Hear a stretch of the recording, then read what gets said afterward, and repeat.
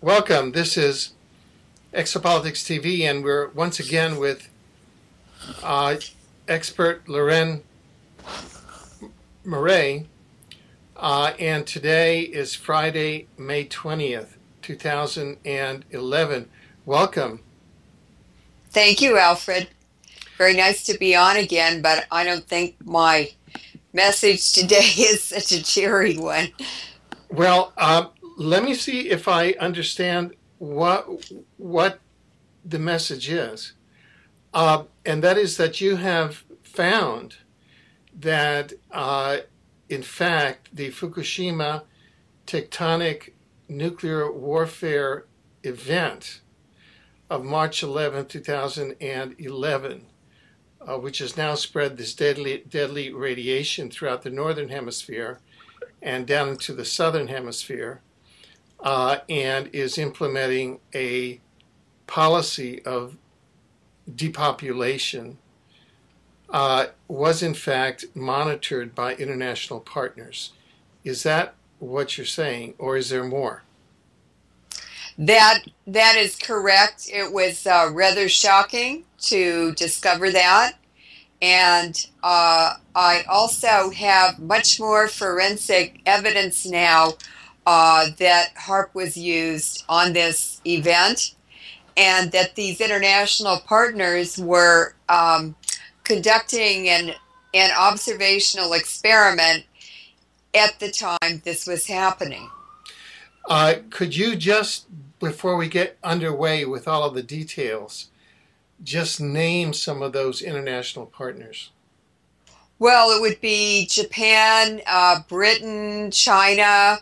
Um, I've forgotten all of them. Um, just a minute. Um,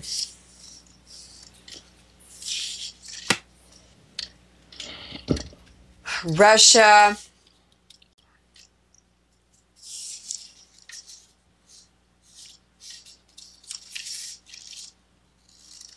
Um, I guess I'll get to it when okay. when we get to that yeah, part of it. I just wanted to, to, to see what what exactly, you know, the the level.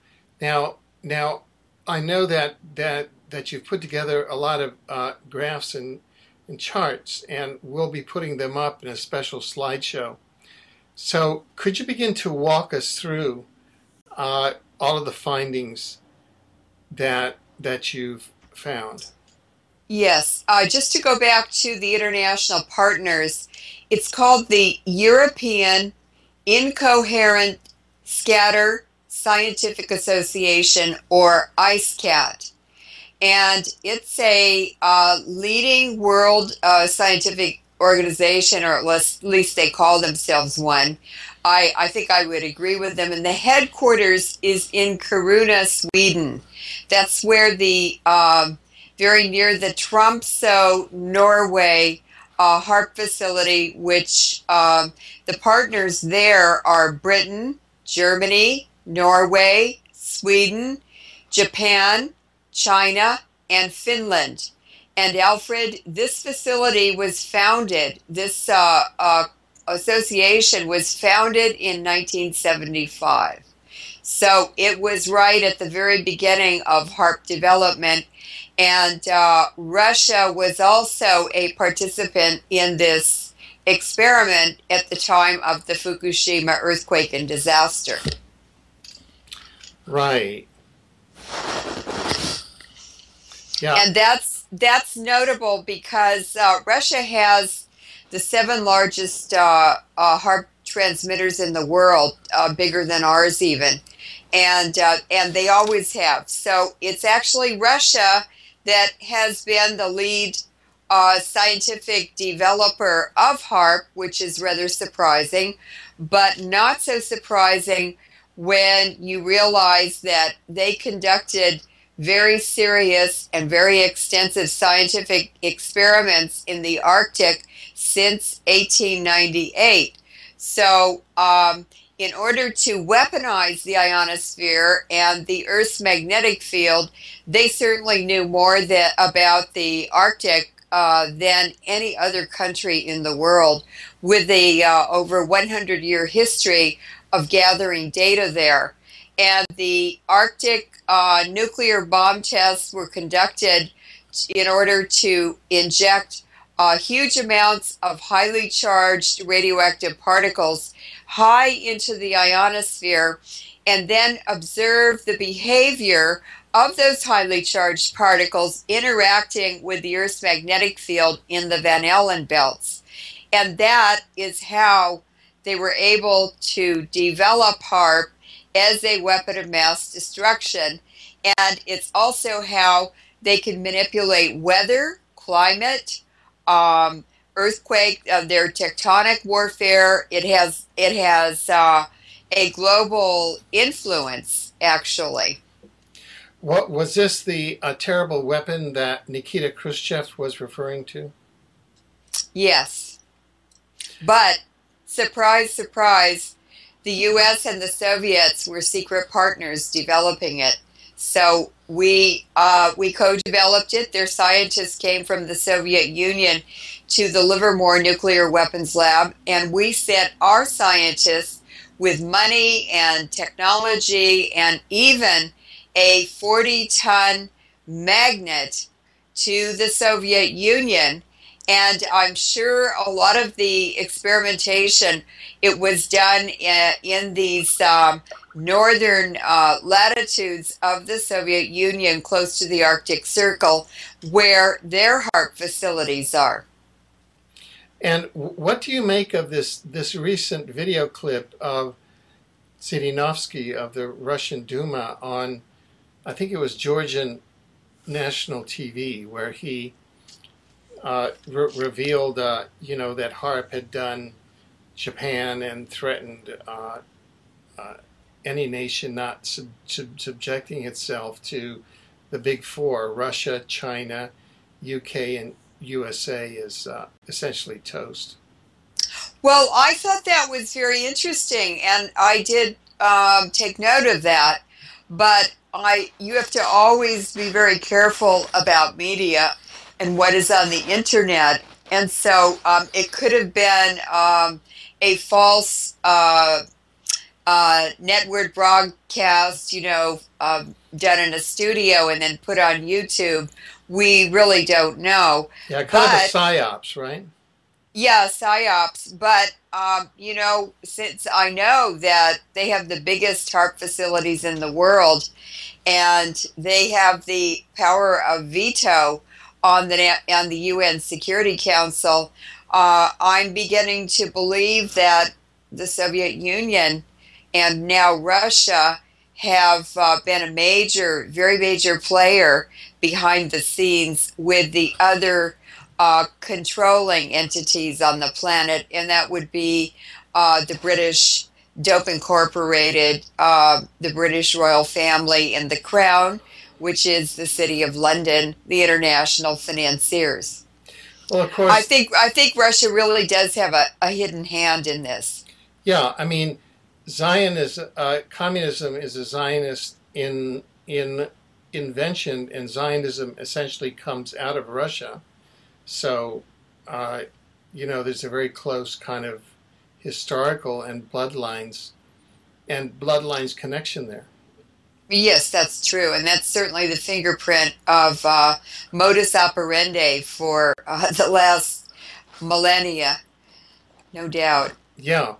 Well, so yeah, yeah. So let's get back to, uh, and, and, also before we finish this this this broadcast, I'd like to give people an update on where the radiation stands, and yes, because that is uh, utmost I know on on people's minds, and there is an information blackout on this, and also what kind of health, uh, what kind of health data uh, and health measures and nutrition measures people can take. But that, but let's go on with this. Yes, on May 18th, an article was posted in the uh, Technology Review, which is published by MIT in Boston, one of the two big military contractors uh, for weapons for the Pentagon and U.S. government and it was titled Atmosphere Above Japan Heated Rapidly before the magnitude 9 earthquake, uh, which was at, at uh, Fukushima. And uh, what this uh, scientist said is that infrared emissions above the epicenter of the, it's actually called the Tohoku uh, earthquake, which um, damaged Fukushima and northern Japan. It increased dramatically in the days before the devastating earthquake in Japan. And uh, he posted uh, a series of very, very interesting um, maps of Japan where you can see the plate boundaries, um, the uh, tectonic plate boundaries. There are four of them around Japan or under Japan. And um, on, on, on March the 5th, you could see that um, the, there were heating spots uh, in the north of Japan and in Kyushu, the south of Japan, which is on the Asian plate, uh, subducting under Japan. Japan's just kind of float, floating or teetering above on the edge of that. And uh, there was also a spot near Hamaoka, which is south of uh, southeast of uh, Tokyo, and I guess southwest of Tokyo. And so on the Philippine side of that uh, plate boundary, uh, just offshore, they were heating there too. And these are uh, fairly round, fairly circular uh, heating spots, and uh, that would be characteristic of HAARP. On March 6th and 7th, there was no activity, but on March 8th, there was uh, heavy, uh, I would call it burning or major heating, and it actually triggered a 7.2 earthquake, uh, Richter scale earthquake, up in the uh, the north end of uh, Honshu, which is the main island of Japan that where Fukushima is also located. So on the 9th, um, there was further heating and where where that earthquake occurred, and there was much heavier heating on the um, the uh, sort of the Tokyo area, the um, uh, Kanto area of Japan, kind of in the middle of the, the big island of Honshu. On the 10th, there was very, very intense heating uh, up above uh, north northeast of Fukushima in the area where that earthquake had occurred and the 7.2 earthquake. And there was also more uh, down on the um, southern uh, southern end of, of Tokyo next to the uh, Philippine plate boundary. Now, on the 11th, the day that the earthquake occurred, there was uh, very heavy burning offshore from Fukushima and uh, slightly, some slightly where it had in the sort of um, uh, Chiba area offshore. And of course, that's the day the earthquake happened. Now, what's interesting is there was more heating, uh, more than any other time on the 12th. And uh, this time it was at the junction of the Philippine plate, the Asian plate, and the um, the North American plate, which covers the Pacific. And that's very, very interesting because um, three of those burn spots were in a straight line, which was from uh, northwest to southeast. So this is uh, really, really interesting. And the uh, magnetometer readings at uh, Alaska, actually uh, correlate with these uh, activities that, that were measured in with the infrared light over the uh, islands of Japan, the archipelago. And those measurements would have been made by uh, probably five geosynchronous uh, Los Alamos satellites that were used to observe the uh, Kashmir earthquake. I believe it was in 2005. And um, these these uh, magnetometer readings are very very interesting, and they certainly correlate with that data. And what they show, which was also observed by the Japanese magnetometer readings, is a frequency of 2.5 hertz uh, for a couple of days before that earthquake, and um, that's the uh, that is the frequency actually that triggers earthquakes with this this HAARP technology. So um, I think that we're collecting much more information and uh, understanding how HAARP works and also finding the uh, forensic evidence on their own sites to prove that what we're saying is correct. Right. Now, uh, there is, um, uh, there have been various accounts, and people have been asking and saying that there were events in the sun which correlate with the various dates of the uh, earthquake or events in other astronomical uh, uh, entities like the galactic black hole. And I, I just want to go through and, and test for the fact that that it appears as though the data shows that it was HAARP and not these solar events or these other galactic astronomical events that caused the Fukushima earthquake event? Well, the tectonic warfare is um, actually designed to release huge amounts of energy that are uh, part of natural events. And so, in an earthquake zone, and the major earthquake zones are at the tectonic plate boundaries around the world, where the continents, these tectonic plates, um, uh, sort of meet, or they're marginal to each other. Um, those fault lines and and uh, they're actually collision zones have tremendous amounts of stresses that build up and uh, they build up and build up, and that's called the elastic limit. And when they reach a certain point where they have uh, enough energy stored up to um, to suddenly release it, that's called reaching the elastic limit. And uh, that would be like pulling a rubber band and pulling a rubber band tighter and tighter until it breaks. Um, so, what would trigger these excess amounts of energy in a fault zone? Well, something just as simple as a high tide, which adds a tremendous amount of uh, uh, burden or an overload, a load on a fault zone. Actually, high tides very frequently trigger uh, um, earthquakes.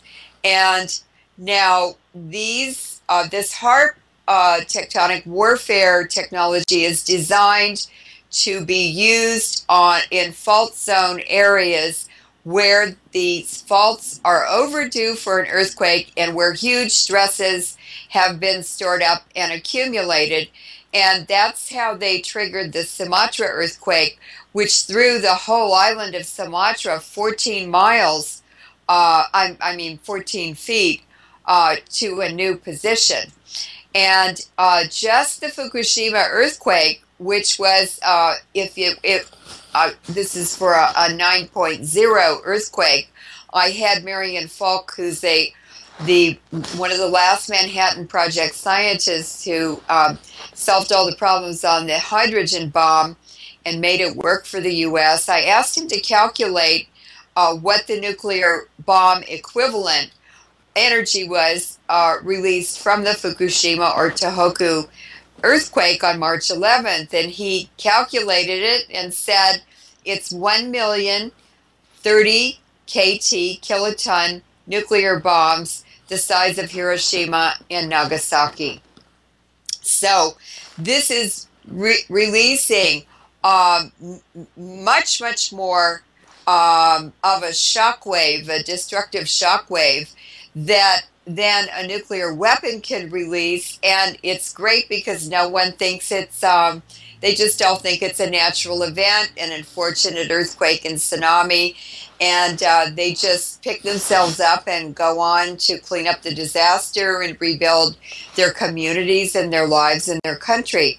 But um, in the case of Fukushima and some of these other earthquakes that we know are are triggered by HAARP, um, it's not a natural event. It's an artificially triggered natural event, which is a natural event that's, that's been weaponized for the benefit of whoever is triggering it. Now, um, the uh, the way that they are pumping extra energy into that fault line to destabilize it, as we know from the magnetometer readings and from the atmospheric irregularities reported for a week over that fault area. And that also, geologists around the world are noticing that that also happened in Haiti before the Haiti earthquake, and uh, it's happened in, in other earthquakes, which is not normal. It was not observed in the past. And um, so the the way that they're doing it is to pump very intense, very focused energy in uh, radio waves. These are ELF or extra low frequency waves into a fault zone. And that increases the heat and the stress. And finally, uh, after about five days of these daily pulsing into the fault zone, they can trigger an earthquake. Now, when a sunspot event happens, that energy that is released is not just diffused over the planet Earth, um, it's also diffused throughout the solar system and also the universe. And it's not focused, it's not pulsed, it's just a random event, which has always happened. And um, so it would not really be suitable for triggering earthquakes. Now, what also goes along with this is that it is the Department of Energy and um, intelligence uh, assets who are putting the sunspot theory out as the uh, the reason for these earthquakes. Um, they're the ones behind the weapon of mass destruction. There's, they're deciding how to use it and how to benefit from it. So I just don't think uh, that's a credible theory. You have to ask scientists, not politicians and intelligence agents and uh, bank bankers who are really gangsters. Right now, uh, uh, there there was an international HAARP experiment uh, from March 2nd to 9th at Tromsø, Norway. Is that sort of like the like the drill exercise that they had on 9 11 uh, on the day of September 11, 2001, where they were simulating the hijacking of airliners? Uh, well, I think I think so. I, I, mean, they may have even participated in, in, in it. It could have been a practice for them.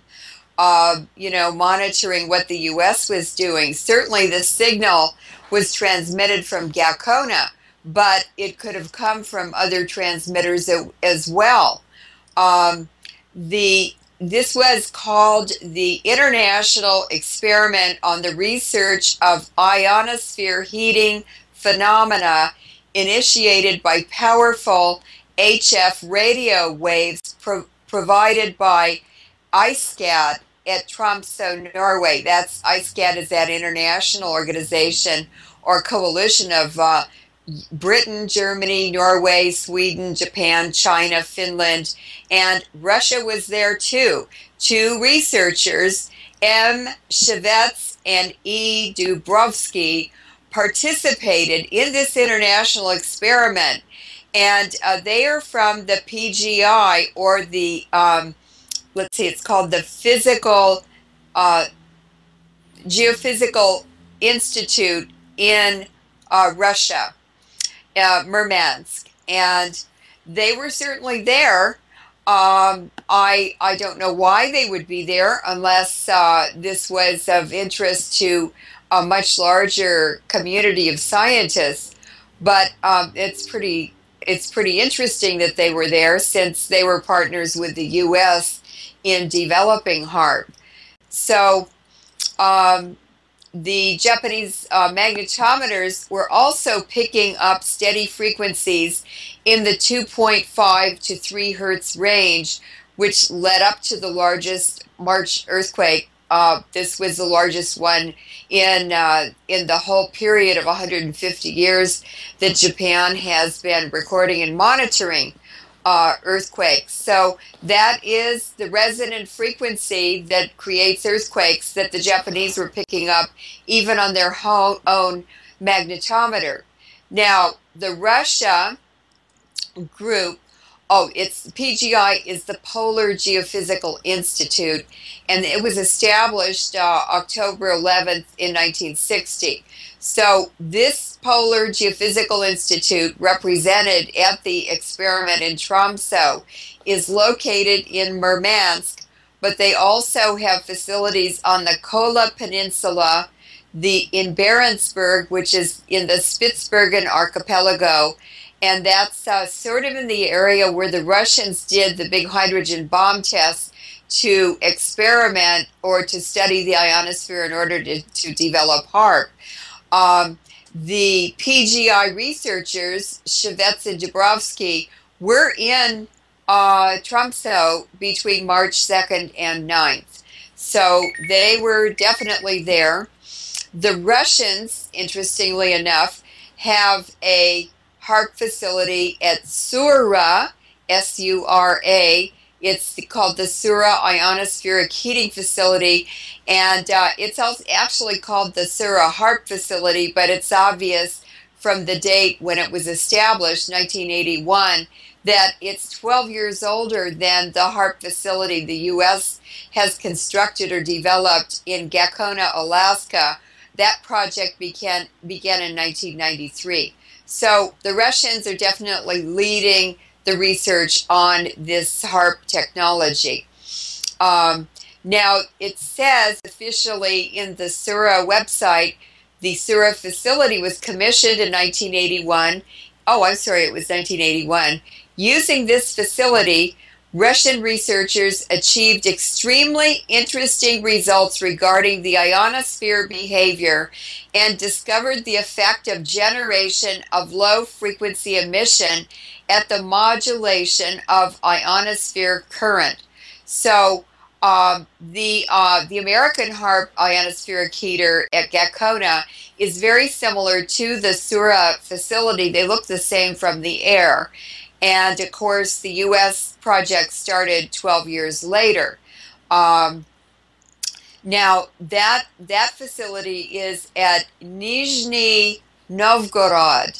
And I believe that is one of the places where Livermore Nuclear Weapons Lab scientists worked during the Cold War with um, U.S. science, uh, with uh, Soviet scientists, and took equipment and money and and technology, uh, experimental stuff over there. Um, this this international HAARP experiment um, coalition, EISCAT, uh, has uh, a, a, lot of descriptions about their program. And it's very, very interesting that um, they monitor things like noctilucent clouds. These are the shimmering clouds that have been reported over the fault zones just before earthquakes. And they've been observed in China, before the China earthquake. They've been observed over the new Madrid fault in the United States, which were people are worried about that uh, being triggered. That sort of uh, goes north south in the um, kind of the mid middle eastern part, mid eastern part of the United States, sort of in the Mississippi River area, and that's uh, a very very very serious fault. Although it's not going to split uh, North America, the continent, into two pieces because the roots of the continent are like uh, the roots of teeth. they're uh, they go very deep into the mantle, and earthquakes would not release enough energy to split a continent. It it might happen through plate tectonics, through continental collisions, but we're just talking about uh, movement along a fault zone uh, in in mid continent. So it's not quite as easy to split it as something like Japan. Um, so it's it's pretty it's pretty darn convincing that um, these people are in partnership. That it is HAARP technologies. The plasma resonances they're studying are four to eight megahertz. Um, the uh, British also have one. It's called SPEAR, S P A R S, uh, Space Plasma Environment and Radio Science and it's located at Lancaster University in the Department of Physics. Now, their major projects are suborbital magnetometer network, uh, imaging riometer for ionospheric story studies, digital all-sky imager Mark II, um, interferometer, that is definitely HAARP, and a another sky imager. So the group's main interest is um, it's in uh, European in, incoherent scatter facility research, and the uh, the Tromsø one is owned by six nations, including the UK, which consists of three of the most sophisticated, high power, ultra high frequency, and very high frequency radar systems in the world. And EISCAT at Tromsø has the world's largest high power HF transmitter, capable of temporarily modifying the natural ionosphere for fundamental wave plasma and radio propagation. And they even talk about climate, uh, influencing climate and, um, and tectonic uh, sort of uh, environmental issues.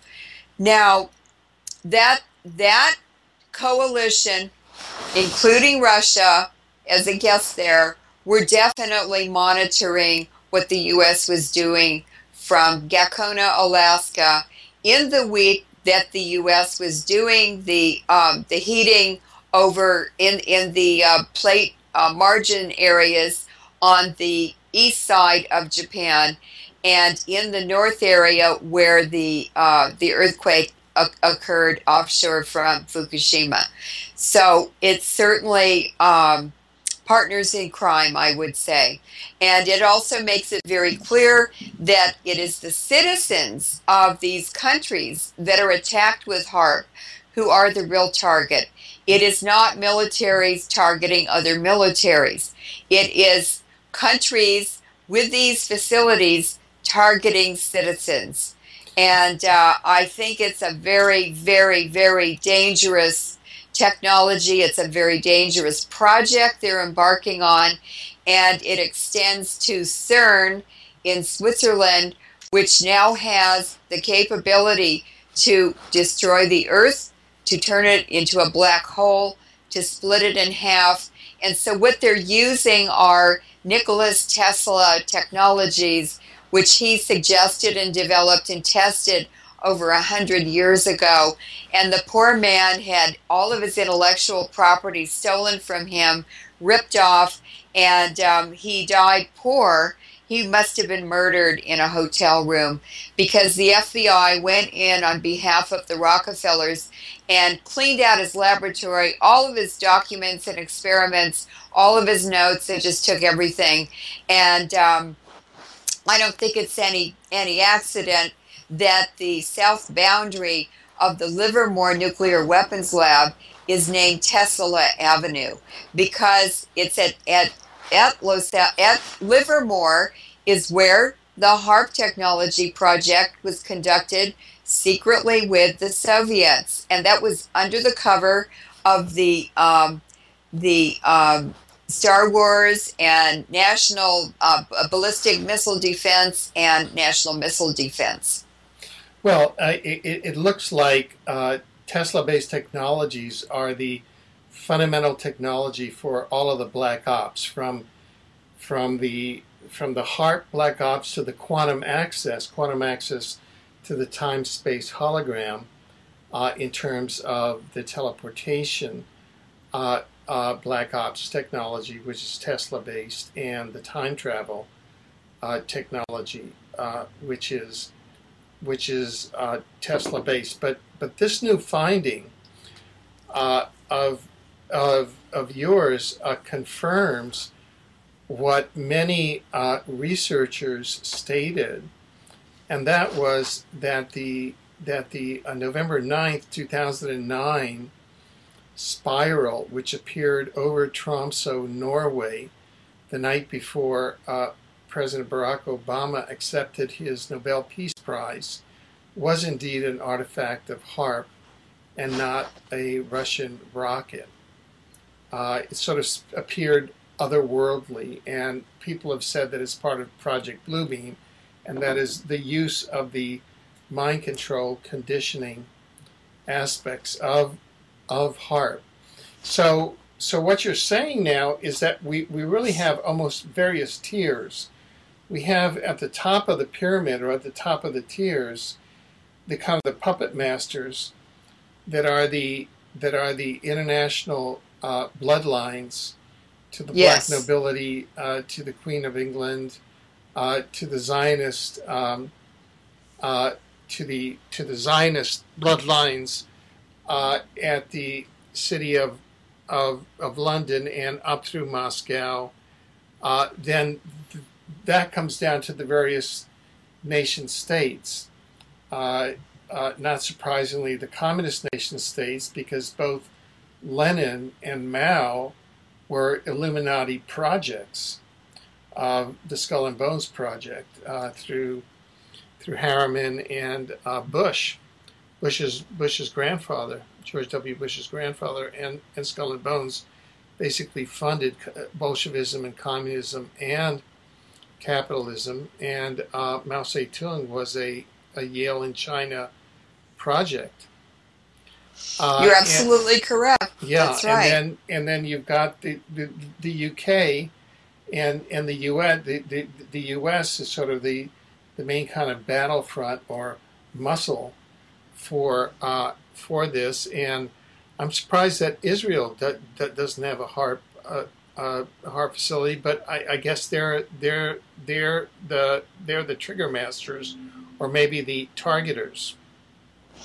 Well, it's not clear why they don't, but they may have um, privileges at these facilities. Uh, there's certainly uh, a lot of them at Livermore Nuclear Weapons Lab. There are a lot of Israeli visitors, and we've had um, an Israeli astronaut on the space shuttle. So Israel is definitely part of it, uh, but it may be a hidden part. Now, now what yeah, what a radio host told me just a couple of weeks ago. She's in San Diego, and when I was mentioning um, NASA and uh, Google and the fact that the two Google owners, Sergey Brin and Larry Page, park their planes, their private planes, at the NASA facility in Mountain View, um, they uh, the woman said, "Oh my God." she said uh, an engineer who works at that NASA facility told me at night many Israelis come into the NASA facility.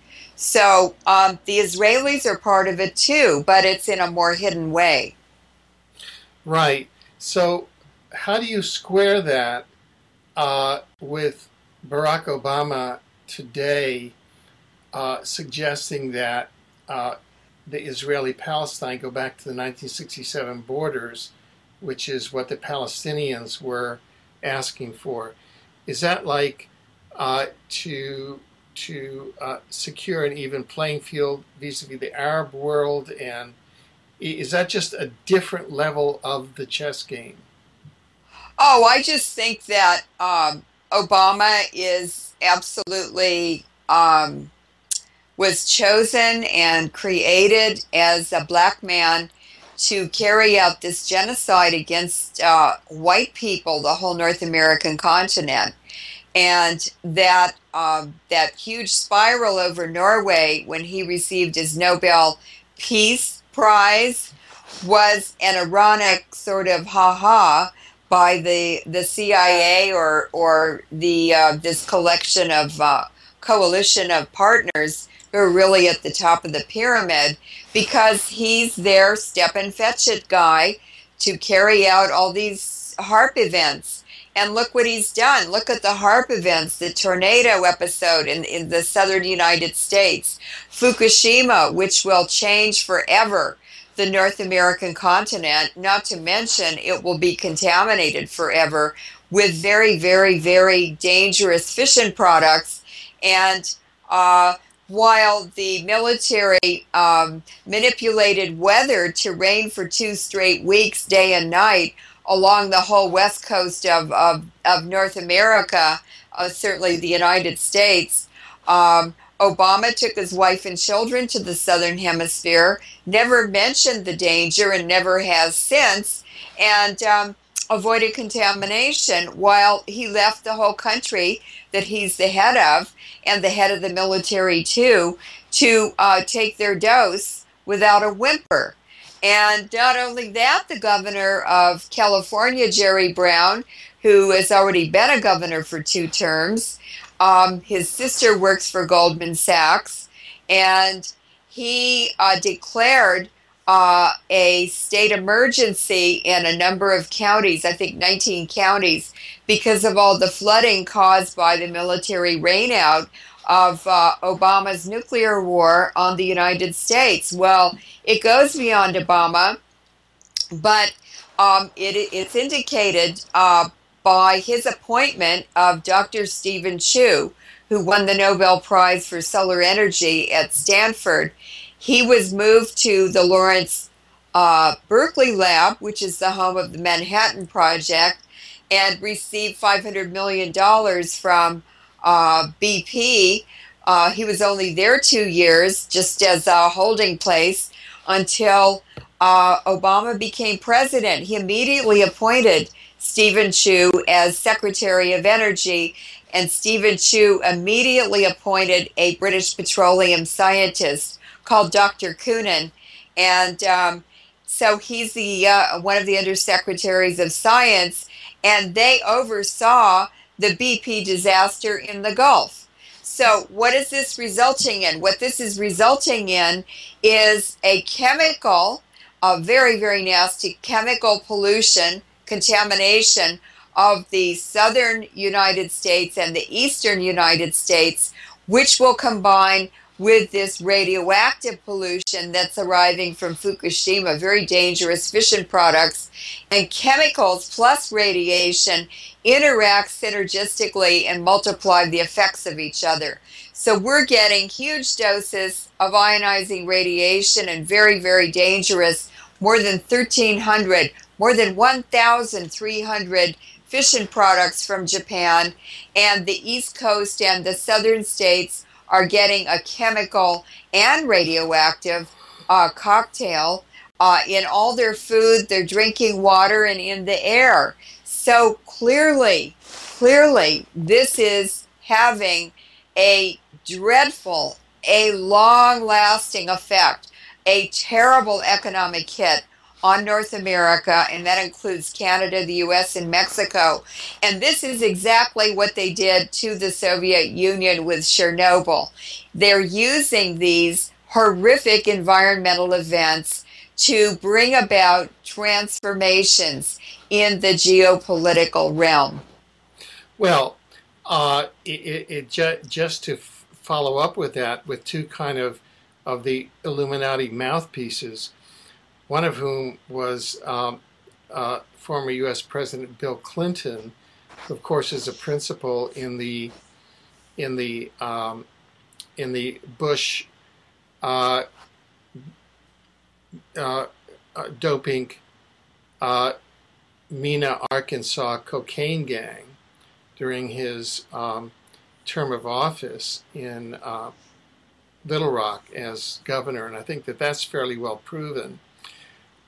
I recall very distinctly a scene where Barack Obama was first elected president, and Bill Clinton was on the on, on the podium with him, kind of introducing him and saying, and these are the exact words. This is Barack Obama. He's going to be your executioner. That's Yeah. the exact. He says he's going to Yeah. execute the laws, but the executioner was the double entendre. It's a it's a Yes. Masonic thing, and Yes. uh, Obama uses a lot of that where they stick their Yes. uh, Yeah. tongue in their mouth. Yeah. That's a Masonic thing. Uh, uh, is tongue in cheek. Yeah. Yeah. This is Obama. This is your executioner. Now, I'm thinking that that we've talked about is is this not an artificial intelligence that's directing all of this?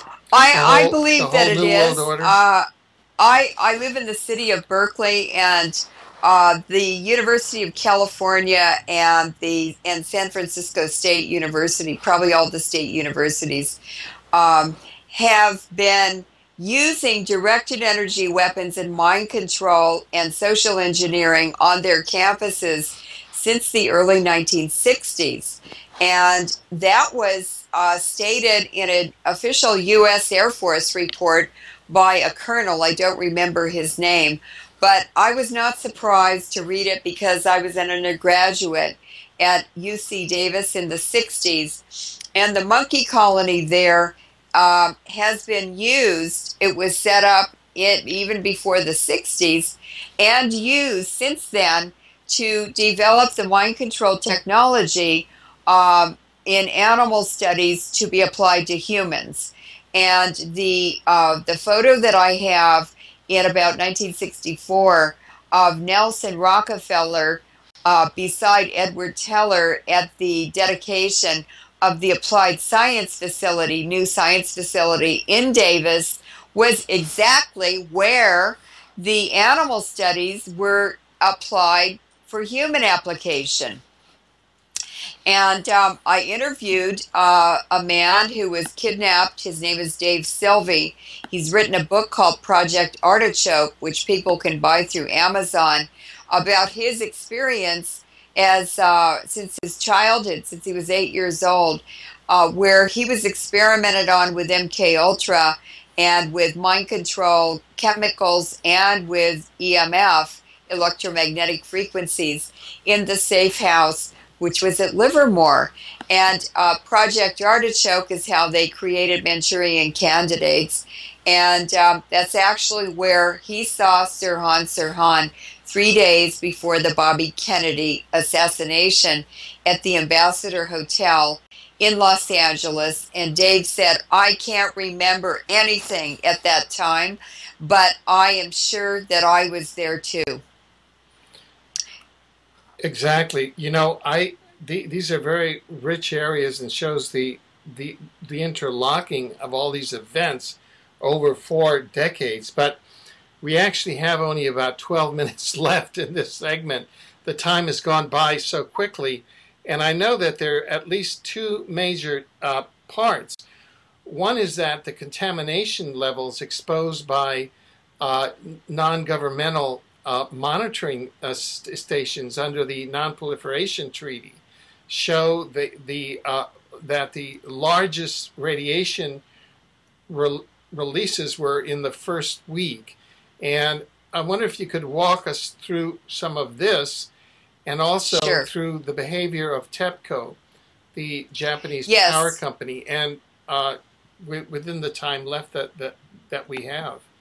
Yes. Well, what um, what the only really good data that we've been get, been able to get is from the International um, Non-Proliferation Treaty monitoring uh, facilities that have very uh, sophisticated equipment, and they can do air monitoring as well as make other measurements. Um, and they are non-governmental, so we're able to get more information from them. And the Takasaki station in Gunma, Japan, in the north of Japan, uh, their their reports were released by the Ministry of Education, and uh, their the data tables of their uh, air monitoring are extremely alarming and they expose the TEPCO and the Japanese government, the US government, the Canadian government are all lying, the international agencies. And what the data table indicates that the largest radiation releases from Fukushima were in the first week after the March 11th earthquake. That's when the explosions occurred in building 1, building 3 where the MOX fuel was building two, and then building four. And uh, there were extremely high levels, March 15th and 16th, reported in the data, but the data for March 14th to 15th is missing. And that was when the explosion occurred in the reactor 3, the MOX fuel pool. And um, there were uh, the first increased radiation levels were detected after March, March 14th. So there was some kind of very, very large event in reactor 3 that did not occur in the other reactors, uh, explosions. Now, there were some releases of radioactive iodine and radioactive cesium on March 19th. There were more releases of radiation on March 21st, 30th, April 18th, and those were probably related to activities that they were doing uh, to try to respond. TEPCO was trying to respond uh, to an absolutely impossible disaster. Uh, it's not only is every reactor much larger than Chernobyl, but there are six of them, and there were 600 spent fuel rods in cooling pools. So um, this is the greatest radiation disaster in the history of the world, and um, and people don't even know about it. Now, on March 16th, that's the only time that huge amounts of iodine 135 were released. The half life is less than 10 hours. So there had to be a nuclear event, and that coincided with the explosion at uh, reactor 3. Uh, Mr. Hiro- Hiroaki Koide from Kyoto University mentioned this mysterious iodine 135. There was so, the levels were so high, the Takasaki station couldn't even measure it. It went off scale, and um, the uh, the result is that he said the huge amount of iodine 135 supports the speculation of a nuclear explosion at the number three reactor on March 14th. And we know now that it was in the spent fuel pool. The um, land surface contamination now from this data table indicates cesium 137 as high as 80 curies or 3 million becquerels uh, per square kilometer in Iitate village, which is 37 kilometers or about 25 miles from Fukuoka, and levels as high as 1.4 curies uh, per square kilometer in Chiba, which is 220 kilometers from Fukushima. Fukushima. So that's uh, that's about a, a 130 or 40 miles. Uh, this is horrendous. And the proof that this is getting into all of the plant material and contaminating the whole environment, and it's supporting the fact that all of northern Japan should be evacuated because a professor, um, Bin Mori of Tokyo University Graduate School of Agricultural and Life Sciences, uh, provided auto radiographs on his blog of dandelion leaves um, and this actually shows the particles of radioactive materials that landed on the leaves. And this is supporting the evidence and the reality that it's landing on all our food here in the United States, too. Now, let, so, let, let me ask you a, a, a question there. Um, two, two questions. Number one, is radiation still coming over? Yes. being directed? Yes. Uh, through the troposphere yes. to North yes. America and into the northern hemisphere. Yes. Yes. And, And, and we also have a debris island of tsunami debris. It's at least 40 miles across. The Navy observed it. That is all of the building materials and cars and trucks and even whole houses bobbing along in the Pacific. It's all contaminated with radiation. And it will be washing up on our shorelines and then the shorelines of Hawaii. The whole North American coastline up to the Aleutians will be contaminated uh, for years by this radioactive trash that will be floating up onto our beaches. And uh, we won't we won't even want to be taking our children to beaches along the west coast much less eating anything out of the pacific ocean. Now, uh, uh, these are these are just horrible facts, but I I want to get them out on the record. In terms of the radiation released, uh, we know that there was a huge cover up at Chernobyl that was intended as a kill shot for the Soviet Union, and that about, about a million people have died, that's correct uh, perhaps more. Uh, in terms of Fukushima, uh, do you have an estimate of the radiation that has been brought over to North America and to the Northern Hemisphere and released in and is continuing to be released into the Northern Hemisphere? Are we talking a million atom bombs? Are we talking what? Like, is this a kill shot for North America? Is this is a kill shot for North America. This is contaminating all of the Japanese agriculture, food sources, drinking water, agricultural water, all of North America from Canada to Mexico, including Hawaii, and it, it's it's uh, radioactive isotopes that have Okay, half lives of ca- millions of years. Can, can you quantify the amount of radiation? For example, More than was- Chernobyl. Other than that, I can't possibly it- it- quantify it's, it. It's what? Sorry. We don't we we don't know yet. Yeah. Um, we don't know yet. It's um, we have so little data. It's very it would be impossible to estimate now, but we do know it's more than Chernobyl. So it's at least six Chernobyls plus plutonium. Yeah. Yeah, and and each of the units was larger than the Chernobyl plant. That's correct. But And- see, they didn't. Chernobyl did not blow up the fuel, the spent fuel rods. Right. This is what makes uh, Fukushima so much more dangerous and so, different. So it, it could be a thousand Chernobyls. It could be. It could be. We have no idea.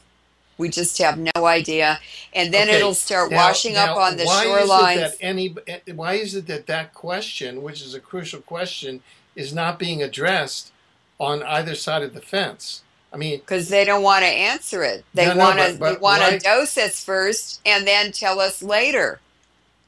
yeah. They don't want us to know. Now, can can can anybody in the alternative analysis community, part of the resistance of the population, you know, we are the people's army. We are the people. Is there anybody on our side that can address that question and answer it within X degree of certainty? So we, we know the ballpark that we're dealing with. Is it a thousand Chernobyls? Is it, you know, a million? Oh, I know exactly who knows. Dr. Chu and Dr. Koonin. They planned this. They pulled it off and they're covering it up. And they're also directing TEPCO in what to do, along with General Electric. When are we going to begin to see a die off of the North American population? Well, the Japanese, uh, uh, within 60 miles or 90 miles of Fukushima, the teachers already have reporting, they're reporting um, radiation disease and rashes on their skin. They are already having, exhibiting radiation sickness. And what we'll see immediately is a drop in fertility in North America of at least one child per woman in one year. Now, there was that motion picture Zardoz, Zardos, uh, starring Sean Connery. that may have been an Illuminati foreshadowing of the Fukushima event. And that is where it's a post apocalyptic world. The world is, the human population is radiated and they are uh, turning into all of their, their features have been uh, affected by radiation and their breeding so that they're they're kind of those they're kind of hybrids affected by radiation. Do you think that the humans in the northern hemisphere 10 years down the road or how many years down the road will it be before the humans are affected? They're already affected. We'll see a big decline in infant mortality this year in North America because a, radiation. A big decline in infant mortality. A big, a, big, decline increase? in. Can I explain yeah, it? Yeah. We'll have a. We'll see a big decline in infant mortality in 2011, 2012, because the women who are pregnant in their first weeks of pregnancy, uh, 80% of those embryos that are exposed to even low levels of radiation will either be uh, aborted or reabsorbed by the woman's body. So that will decrease the number of babies born, but it also will kill the weaker babies out of the uh, the embryos in the first, say, three or four weeks. That uh, a lot of women don't even know they're pregnant when they go through the airport scanners, when they uh, live near nuclear power plants, they have trouble carrying babies. They lose their babies. This is why. Or they don't even know they're pregnant and they're unpregnant before they even know pre- they're pregnant.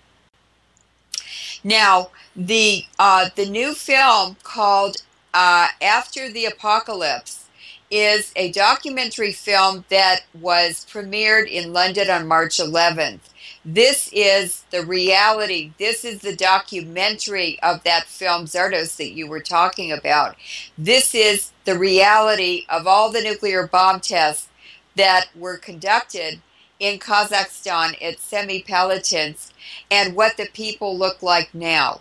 And it is exactly what Zardoz was uh, was made about in a fictional sense, but this is reality, and this is what North America is going to look like in in time. Um, we will see more and more people with mixed sexual um, aspects. Uh, we'll see higher sterility and infertility. We will see feminized men and masculinized women because um, these uh, hormone and estrogen effects of radiation are very subtle, but they're they're already being expressed. I saw them in Portland, Oregon, a month ago. Um, there were women at, at meetings that I went to had who had beards and mustaches, and women with um, physiques and bodies like men, and men who were very feminine. So it's already happening. All you have to do is go now to cities that uh, are close to nuclear facilities, and certainly Portland is on the Columbia River, which is completely contaminated by Hanford Nuclear Weapons Lab and by the um, nuclear power plant, the Trojan reactor that was on the Columbia River. It's turned off now. But but it's feminized the men and masculinized the women already, and you can see it everywhere. Right. And one and one final question, which just kind of struck me because the fact that that documentary screened on March 11th seems like too coincidental. It's not a coincidence. And remember, that was Russian bomb testing in Kazakhstan. The Mongolians have told me now that the Chinese did nuclear bomb tests in Mongolia, and the Chinese now are growing potatoes for the Mongolian food supply in their nuclear test site so that they're feeding and selling uh, radioactive potatoes to Mongolians. And it's all about depopulation in Kazakhstan and in Mongolia. And this Mongolian woman said, I'm not from Mongolia, I'm from Miningolia. And a woman from Mongolia a few years ago went to the Livermore Nuclear Weapons Lab for two years. Who knows what she was doing? But she went back to Mongolia and started a whole uranium uranium mining industry in Mongolia, and the whole environment is being contaminated, just like we did, or I should say, the British bankers did with um, the Indian reservations in the Southwest, where they poisoned the whole Navajo reservation with uh, uranium mining activities. So now, and now what we have is we have documented proof, uh, starting with the top tier of the Zionist bankers and the City of London bankers and the royal bloodlines in the uh, in the black nobility and the British aristocracy and crown. Now coming down uh, to all of the major nations, which are just kind of shills for them, are in fact that leadership, uh, uh, which is an, an Illuminati uh, le- le- leadership and part of the Illuminati pyramid. Uh, fascism and communism are up, all up just under uh, Aleister Crowley. Uh, all of those are carrying out uh, the depopulation programs put in motion uh, by the Rockefellers prior to Hitler and uh, ad- adopted by the British Crown and and according to the Zionist plans, uh, the Zionist bloodline plans, and it's all through radiation. That's and that seems like a future to you. Do you see any bright light coming out of there? Well, I was in denial for eight years. I thought this was all an accident, but two years ago I got completely converted when I did a search uh, on Google for the University of California plus Skull and Bones. And that took me tra- straight to the bankers, the nuclear weapons, weapons of mass destruction, depopulation. It's all for the bankers and the British crown and, and, and other uh, royal thrones in Europe and around the world. And it's no accident that most HAARP facilities are located by very large mining projects over the next century for British owned mining companies. So basically, they're carrying out the project of reducing the population of this planet, like the Georgia Guidestones say, to about 500 million and a master slave class system. Well, I don't know about the, the, the Georgia Guidestones, but um, you don't need those to see it and figure it out. It's uh, uh, I've looked at the decline in fertility in Iran. Iran is in a secret nuclear war carried out from Afghanistan and Iraq, and the monsoon continually rains out or snows out more and more radiation into Iran. Now, Iran had very large families. The women had eight or more children. That was the average size of the family in Iran um, in 1986. One year after Chernobyl, it dropped by one child to seven children. But today, after 20 years of uranium wars in Iraq and Afghanistan and Yugoslavia, the fertility rate of Iranian women is less than 1.6 children. That population, like the Japanese population, is going extinct, and that is also what's happening in Israel to the Jewish population. They are decreasing, their birth rate is lower than their death rate, while the Palestinian population is increasing. So they've nuked themselves, and all we have to do is sit and wait. Well, um, on that note, uh, let we're um, come come to the end. We've we've gone a bit over, but we've we've we've we've come to the end of this segment.